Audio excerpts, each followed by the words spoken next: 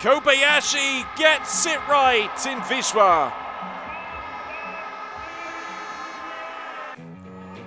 Round number 13 of the Viessmann FIS Ski Jumping World Cup was played out in front of a packed crowd in Wisła, Poland. Stefan Kraft, the World Cup Tour leader, skipped the Super Team competition on Saturday. He's got a little bit of a cold, but that did not stop him from a superb jump in the first round.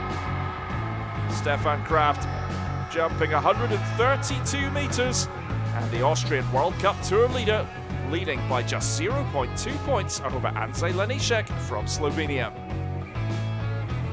Ryoyu Kobayashi hasn't been at his best on this hill, and in the final round, that all changed.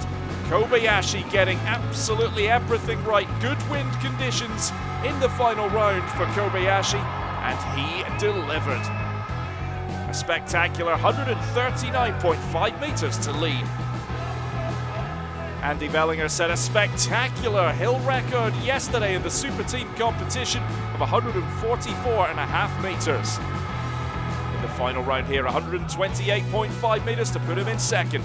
Over to Anže Lanišek, needing a big jump to put the pressure on Stefan Kraft. It wasn't to be for Lanišek. Difficult wind conditions meant he jumped just 121 metres and dropped to eighth. So all eyes on the World Cup Tour leader. The leader after the first round. Could he match Kobayashi? It was a great jump from Kraft. The big names getting some of the better conditions.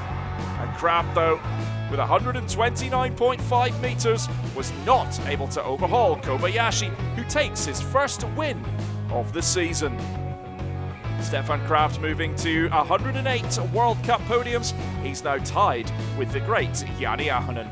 232 points the difference at the top of the World Cup standings. But it's Ryoyu Kobayashi's day in Wisła in Poland. Kraft in second, Andy Wellinger in third. The Polish Tour moves to Szczyrk on Tuesday and Wednesday, and then on to Zakopane for what will be a thrilling conclusion. Download the FIS app for more from the Viessmann FIS Ski Jumping World Cup Tour.